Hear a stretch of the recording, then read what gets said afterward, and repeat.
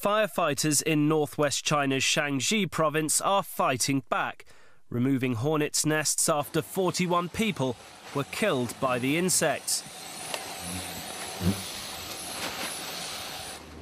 Hospitals such as this one in Hanzhong are full of wasp sting victims, with more than 1,600 people injured across three cities. In this hospital alone, doctors have been unable to save eight people, and four of the nearly 90 injured are still in a critical condition. He Kwang Cheng, a local farm worker, was attacked by a swarm of wasps when he accidentally knocked down the hive from a tree. Experts believe the deadly insects are Asian giant hornets, or Vespa mandarinia, a species with a highly toxic 6mm sting that can cause anaphylactic shock.